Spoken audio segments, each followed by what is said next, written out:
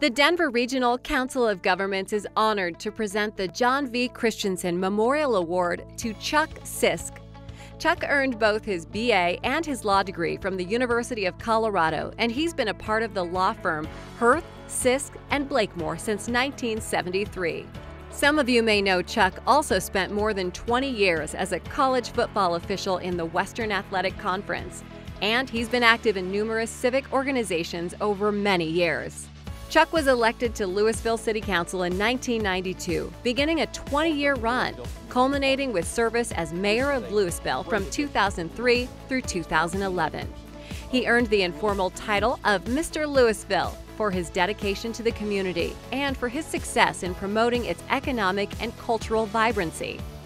Chuck was at the helm during a time of significant growth and great change, helping to revitalize the downtown area, now a thriving commercial center with an energetic nightlife. Chuck also pushed for the building of Monarch High School, which connected and served residents from Louisville and its neighbor, Superior.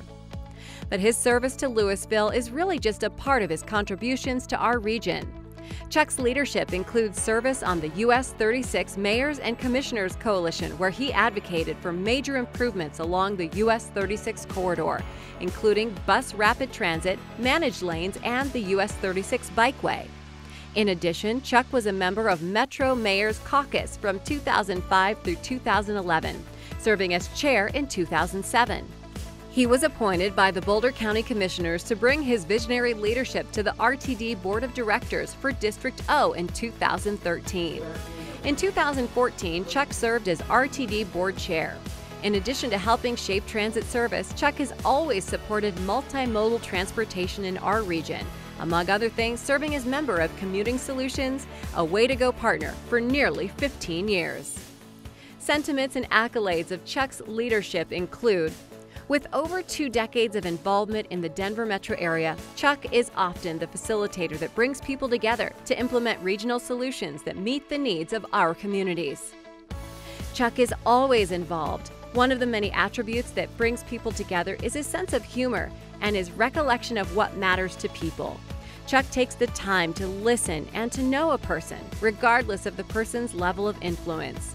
It's his authentic humor and concern about people that leads to his strong ability to building lasting relationships. Everyone knows Chuck, and that's a really good thing for our region. As Chuck retires from his seat on the RTD board, DRCOG is proud to highlight his contributions as regional leader, achiever, and community builder, and to honor him with our most prestigious award, Please join us in congratulating Chuck Sisk as the 2018 winner of the John V. Christensen Award.